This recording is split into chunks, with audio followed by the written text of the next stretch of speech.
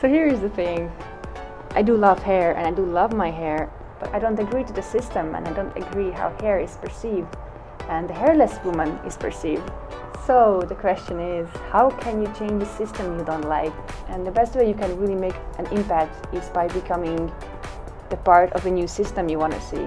I'm going to get rid of my hair in the support of this idea and I found this wonderful thing called Kuts for Confidence here at my campus where I can also donate my hair. It's long enough, thankfully it's 8 inches that is required to make a wig. I think uh, they're going to need 8 people's hair to make just one wig. I will take you there and we will see what happens.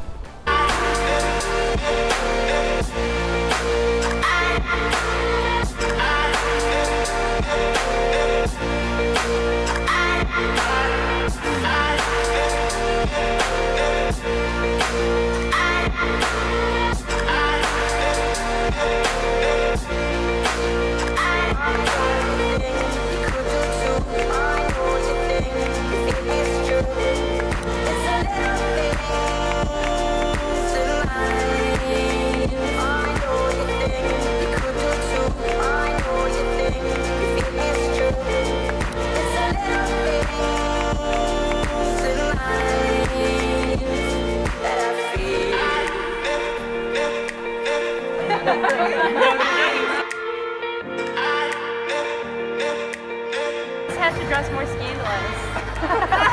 Sorry, Mom.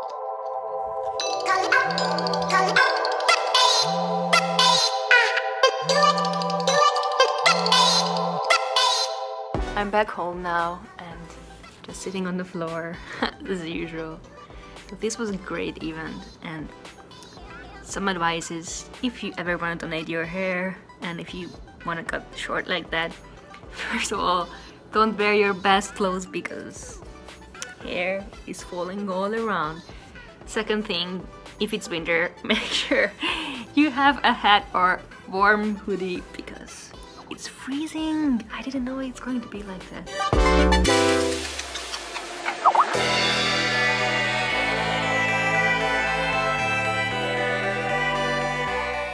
My tea is ready. Sippy sippy. Too much information?